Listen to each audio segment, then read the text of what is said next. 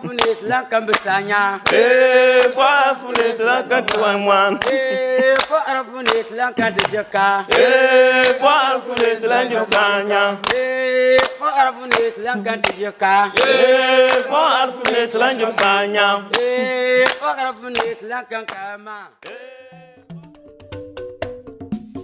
Maize Cropping Guide 4R Nutrient Management and Best Agronomic Practices. 4R Nutrient Stewardship is a framework developed to communicate the right way to ensure sustainable and efficient use of fertilizer based on four principles namely, applying the right source of fertilizers, at the right rate, at the right time, and in the right place. Effective fertilizer use, as guided by 4R Nutrient Stewardship, is important for developing sustainable cropping systems that support improved food production, increased income for farmers, and enhancement and maintenance of soil fertility.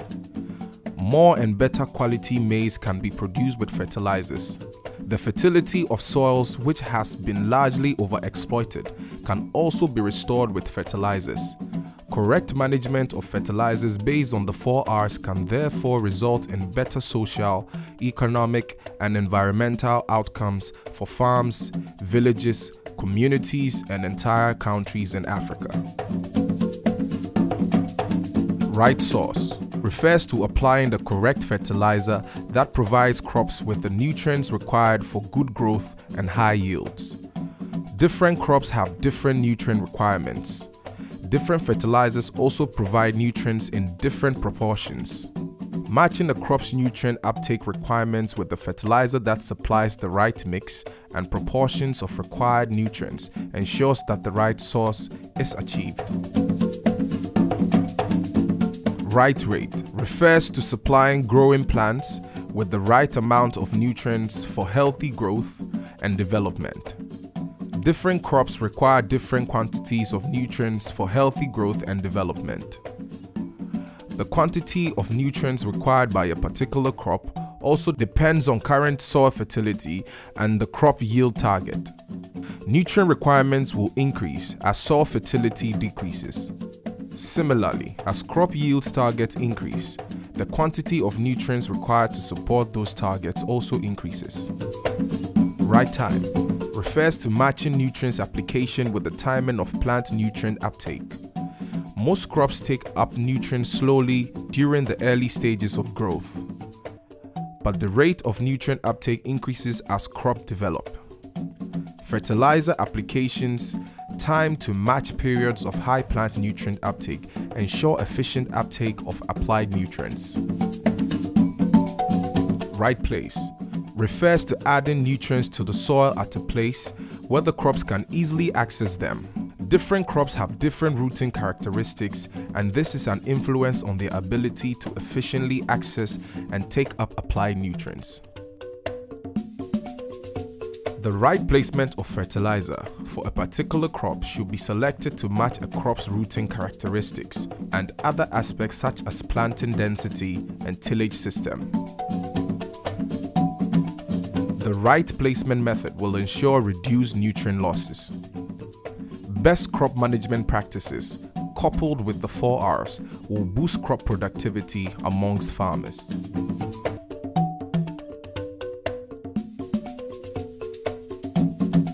The whole essence of this 4R learning is to take farmers through right from land preparation to harvesting and to also take them through the best agronomic practices that will lead to getting the required yield of the maize. So we have done the maize planting and we have also taken two plots to demonstrate the use of fertilizer as against farmer practice where majority of them do not apply fertilizer.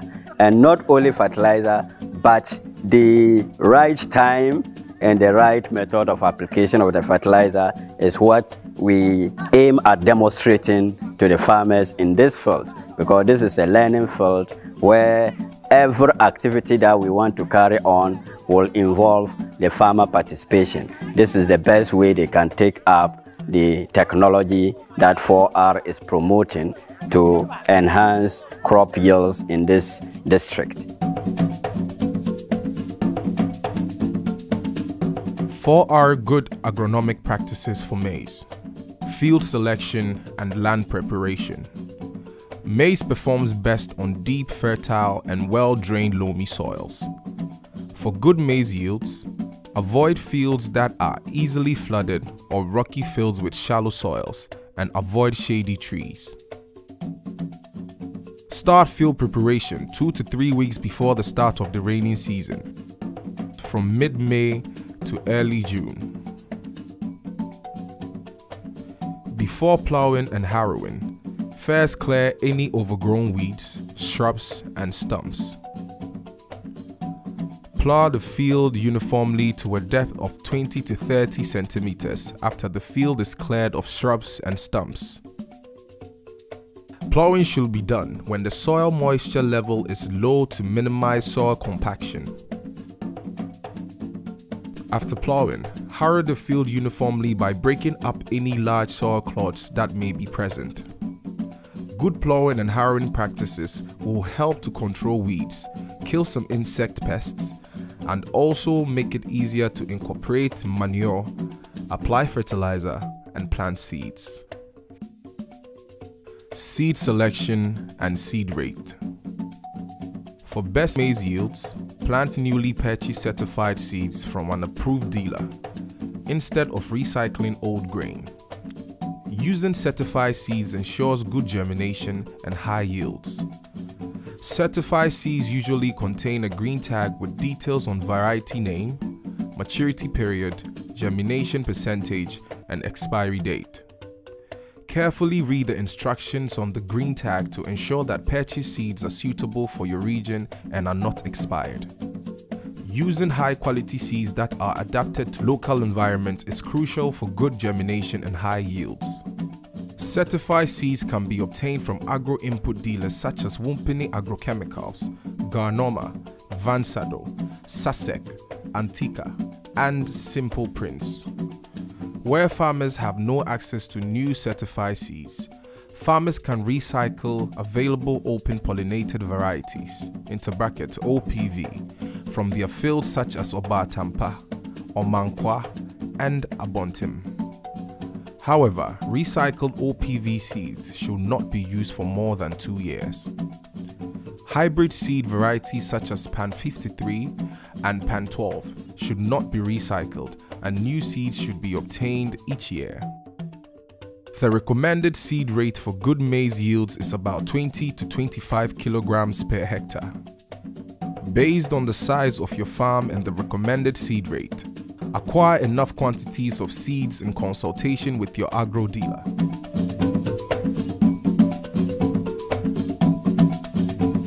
We are again at Killing Killing to demonstrate to farmers the beneficial use of fertilizer on maize crops. So we have come with maize variety called Sanzalsima. This Sanzalsima is an OPV variety that was also released by SARI. It is high yielding and it's a medium variety. Want to introduce the maize variety to the farmers here and to also take them through the best agronomic practices that will lead to getting the required yield of the maize.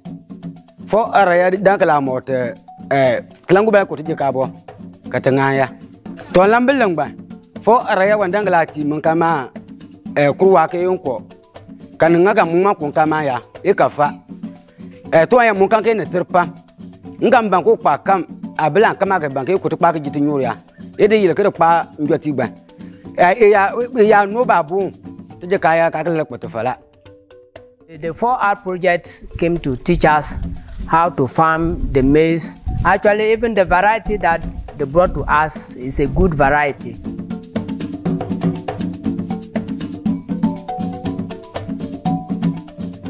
Maize planting in the northern region should be done between early June and July 10th, based on the onset of rains.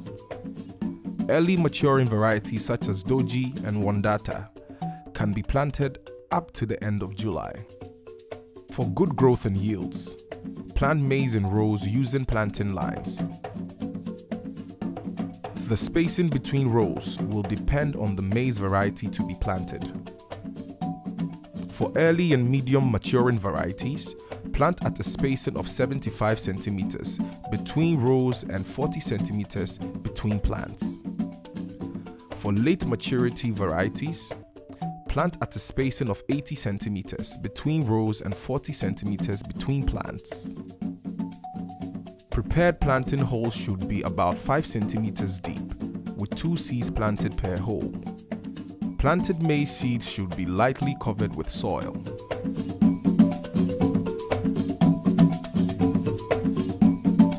When you plant in lines, you are able to control your weeds as well as pests and diseases of the crops. So planting in line is helpful than just planting at random.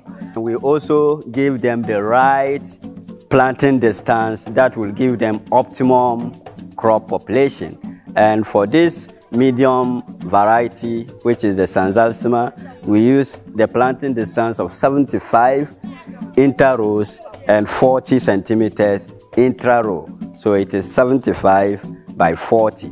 And we have shown the farmers how to get these distances accurately in their farms. And this will help them to control or to keep the optimum plant population required in their farms. I'm a farmer who was planting my crop anyhow. I dribbled anyhow, I plow and the lands anyhow. But uh, from uh, 2020, as far our project came, we learned more. And this year, the year 2021, I practice their principles.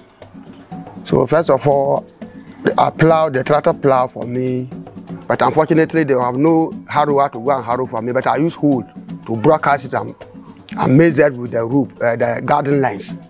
I measure the, the principles of our project, which is uh, 75 centimeters in between the lines, 40 centimeters in between the crop.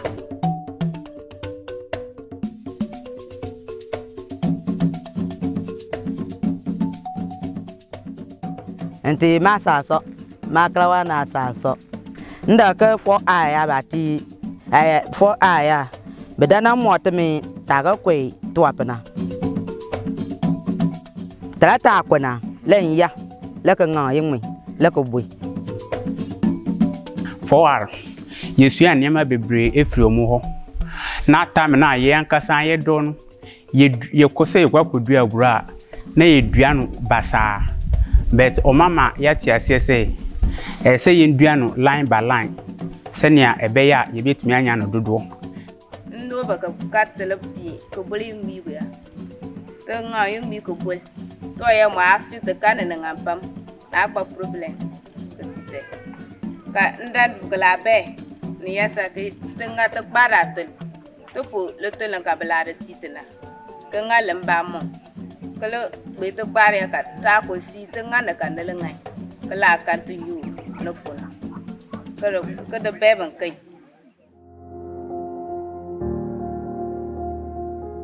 For good maize yields, fertilizer application should be based on the four R's of fertilizer management to ensure that the maize crop is supplied with the right source of fertilizer, applied at the right rate, at the right time in the growing season, and at the right place where the growing plants can easily assess nutrients supplied. The first fertilizer application is referred to as basal application and should be conducted at about 14 days after planting. This should be done when the soil is moist to enhance the dissolving of applied nutrients in the soil as this allows for faster uptake of nutrients. At this stage, the right source of fertilizer for maize are compound fertilizers that supply all primary macronutrients, namely nitrogen, phosphorus, and potassium. Good examples in northern Ghana are NPK 15 15 15 and NPK 25 10 10. Multi nutrient fertilizers that supply secondary macronutrients such as sulfur, calcium, and magnesium, and micronutrients such as zinc, boron, in addition to NPK, are also a good source at planting or shortly after planting. An example is NPK 112221 plus 5 sulfur, 0.72 zinc, 0.5 boron, which additionally supplies crops with sulfur, zinc, and boron. Application of multi-nutrient fertilizers that additionally supply secondary and micronutrients has been shown to give the best maize yields in northern Ghana.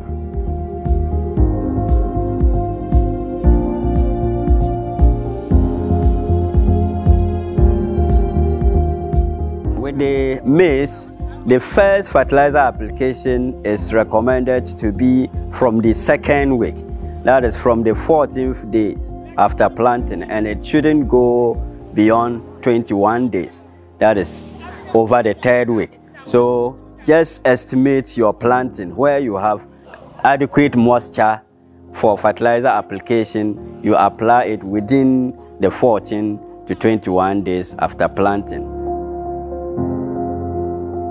nti nkalmaya bini n buli nkalmaya bin bɔndi kee wii ku pui ni naada n ka ti bili nyɔya ta din wen sɛn nkalmaya ka ti buli yaa wii ku pui na ka bi yoo ke ti laa bili bi ya bi ke ti lee ka yiri ka ba n li gilingidi ŋa n ata wuli yɛni nti yaa so nkama ka bi tii a kalmaya a nyi ka yaa buli wii ku pui ni naada bila n tii nyɔ a ti ti wani ka ŋa nyɔ ka yi ka ba n li gilingidi ŋa.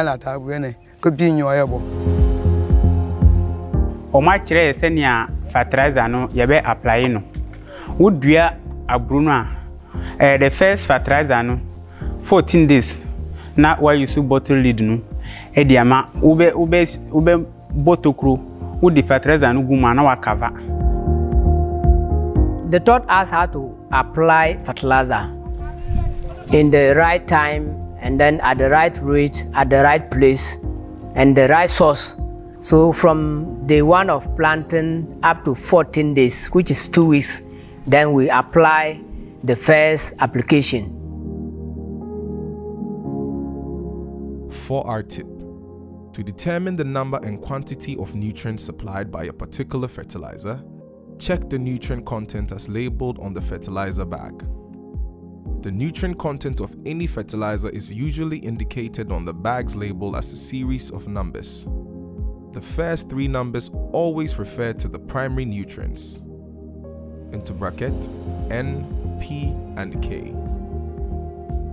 If any other nutrients are present, additional numbers are given, followed by their chemical symbols. For example, a fertilizer bag labeled 15, 20, 20, 5S 0.5B contains 15% nitrogen, 20% phosphorus as P2O5, 20% potassium as K2O, 5% sulfur, and 0.5% boron.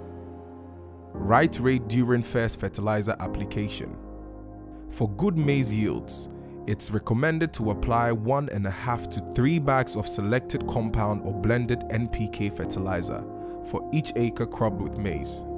The amount of fertilizer to be applied will depend on the specific characteristics of the field where maize is being grown and on the farmer's target yield. For example, fields that have been cultivated for a long time with minimal application of fertilizer or manure are often less fertile and require more quantities of fertilizers. Fields that have only recently been converted to farmland or usually have large quantities of manure applied are often more fertile and require lower quantities of fertilizers. Higher maize yields targets require more nutrients to be supplied, hence higher fertilizer application rates.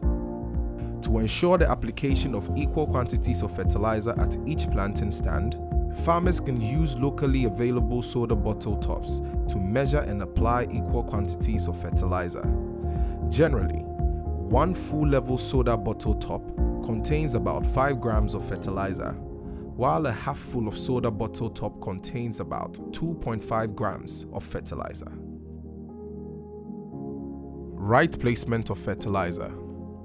To ensure a right placement of basal fertilizer, create small holes about 5 centimeters from the plant using a stick. To uniformly apply one and a half bags of fertilizer in a 1 acre field, apply one full bottle top next to each planting stand. To apply 3 bags of fertilizer in 1 acre field, apply 2 full bottles top next to each planting stand.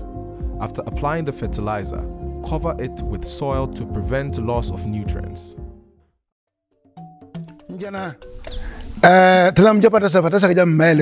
Bi patasa la.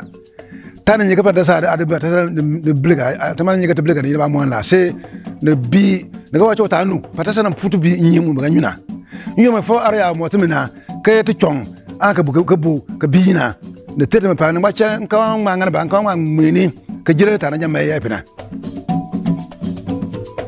So in applying the fertilizer also, we were told that we should dibble and then put the fertilizer inside, then cover it because the urea is full of air. If we didn't dibble and put it inside and cover it, the, the air will take the strength away and then the sun, when the sun hit it, it also take it away. Apply fertilizer 5 centimeters away from the plant prevents the fertilizer from contacting and damaging the plant as the fertilizer dissolves. Second fertilizer application. The second fertilizer application is referred to the top dressing and should be applied at 6 weeks after planting. During top dressing, maize plants require to take up nitrogen in large quantities for good growth and grain development. The right source of fertilizers at top dressing are therefore straight fertilizers that are rich in nitrogen, such as urea. Urea fertilizer has round granules that are white in color. Urea contains the highest proportion of nitrogen, 46% nitrogen. In addition to urea, different fertilizer companies have developed special multi-nutrient fertilizers for top dress application in maize that are rich in nitrogen. Consult your local extension officer or fertilizer company agronomist for advice on other multi-nutrient fertilizers available in your local market for top dressing. Weed or spray the field very well before top dressing fertilizer application as weeds compete with the maize plants for nutrients. The top up or the top dressing, which is the second fertilizer application, will come six weeks after planting or four weeks after the first fertilizer application. So these are the various times that we are demonstrating to farmers. Na second fertilizer no so eh, wonya six weeks a na wabɔ second fertilizer no wɔ hɔ no ɛbɛma aburo no atumi anyi akɛseɛ akɛseɛ And what I've learned is how to apply fertilizer under the maize. To apply, you dig a hole, use a cover of a bottle before you apply it. After that, you cover it. And then the two weeks, I want to apply the fertilizer, which is NPK.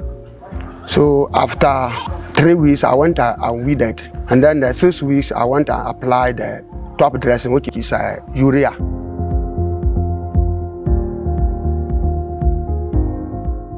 Top dressing should be done when the soil is moist to enhance the dissolving of applied nutrients in the soil as this allows for faster uptake of nutrients. If after 6 weeks after planting maize the soil is very dry, delay the top dress fertilizer application until some rains are received. This shouldn't have been the stage of the maize that we're supposed to apply it. It should have been done six, uh, six weeks after planting. But because of uh, lack of moisture, because of the drought, we delayed the application. At this stage, it needs much nutrients, especially nitrogen, which is very, very important. Because this time it is tasseling. Uh, the crop is coming. And if the crop comes, it takes a lot of uh, the nutrients. And if there's no adequate moisture, whatever nutrient we put under it, it cannot make good use of it. To ensure a right placement of fertilizer at top dressing, make small holes about 5 centimeters from the plant using a stick. Use a bottle top or other small container to apply one bottle or equal amount of fertilizer next to each plant. and then cover it with soil. For our tip, basal fertilizer should be procured a few weeks before the planting period so as to ensure timely application when planting starts.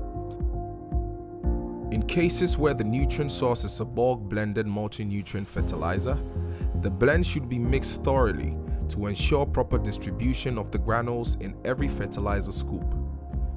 Fertilizer applications should be avoided during periods of very heavy rainfall to avoid washing away of applied nutrients. For our tips for management of maize plants. At 10 days after planting, check for gaps along the rows and plant additional seeds to fill any gaps. After germination, protect young plants from attack by rodents and birds using local methods. Regularly scout for pest and disease infestations by walking through the farm in a zigzag pattern every week. Perforated leaves, presence of larvae, egg clusters or insects on maize leaves are all indicators of pest infestation.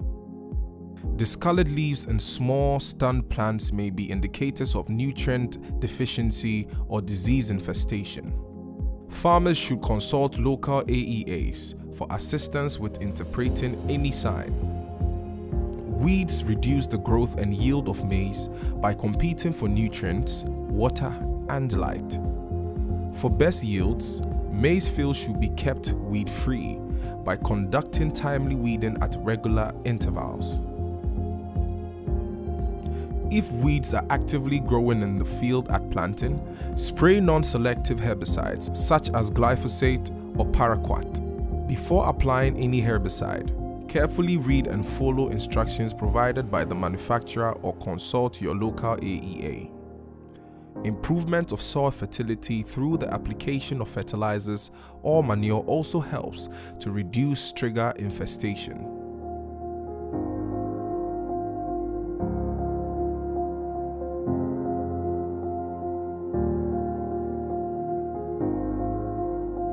Harvesting and storage. Harvesting should be done as soon as the maize crop is mature and dry. At harvesting, maize grains are usually not fully dry and have a moist content of about 15 to 20%. Immediately after harvesting, crops should be dried so as to reduce the grain moisture content to about 10 to 12% in readiness for storage. Storing unhusked maize is not recommended as it is very difficult to detect insect infestations. Well-dried and shelled maize should be treated with recommended storage chemicals and stored in jute sacks lined with polythene bags. Common storage chemicals include Actellic 25EC or aluminium phosphide, example, phostoxin and gastoxin.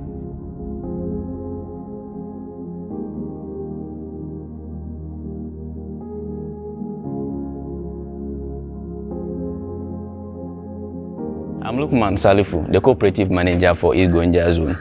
Post management losses have been one of our major challenges. Most of our farmers, after harvesting, it becomes an issue. And then what we do as a cooperative, what we have started doing is sensitization. We went around to sensitize them on the availability of our silo services. As you can see behind me, we have a very nice silo that we've cleaned in there, fumigated it with our pallets. As a project to reduce post-harvest losses on our brownfield days, we included post-harvest management in the trainings, where we trained all the farmers who, were partic who participated on the field days to properly dry their produce according to standard moisture required for each of the crops. After they have dried it, and then they thresh it on a very clean ground either on a patio or on a tapoli, they are required to mobilize the produce to the warehouse. Yo, bime nyoma Joshua. Fo arasi awa dana motumi tukwa atun. Tumu kwe tukwa kake ba motumi na yito nyala kititime. Ba motumi pele yake tia kwe kaya karawa anka. Ni yake tia blanka tete kawana kade bel chelen cheka kwa bena. Ah kade no ku ni ya kuga na ma puona teng bara bu warehouse woni daga te de nga pe ila poli ton to ta gba bi ati amade ko ka ka nyam punyana Bagged maize should be transported to a warehouse for safe storage, kept away from the wall. Maize can be sold through farmer cooperatives for competitive prices. Consult your zonal crop managers for more information. Monies can be sent to the credit union for safekeeping. To give our farmers high value markets, we are bringing the produce together so that we can attract the higher value buyers. At this point, in many cases, farmers are suffering from the standardized weighing or selling of their produce. Some of them are selling in volumes, and even with these volumes, the bowls that they are using are not the same. The project has acquired weighing skills for the silos. Before you bring your produce in, they are weighed and standardized. You know how many kilos you have in the silo so that when we are selling, you know how much you are collecting as a value for your produce in the warehouse. We negotiated with some uh, high value buyers. Then they told us that most of the times the challenges they have with our produce or most of our farmers produce is that uh, the produce are not of good quality. So we engaged the farmers told them that whenever you harvest you have to make sure that you trash it then clean it well before we store it. After storage then we now engage the buyers the high value buyers to come and inspect the produce before we now do what? Sell it to them so currently we are embarking on uh, produce aggregation. We've aggregated some in our silo, but the exercise is still in progress. What we aim at is to run these cooperatives even after 4R project. Whether the 4R project go or they are still with us, I will never go back to the practice I used to practice for the years. I will continue to practice 4R project principles because it is, it is helpful.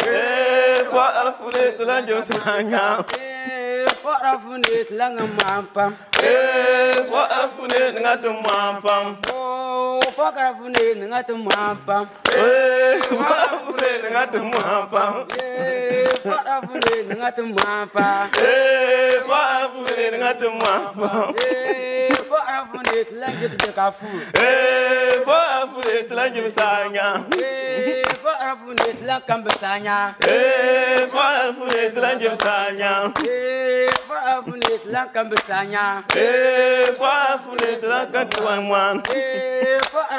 langka s'an ɲa. Ee fo arfu ne dilan Eh, bɛ s'an ɲa. eh fo arfu ne dilan kan ti wa mɔ. Ee fo arfu ne dilan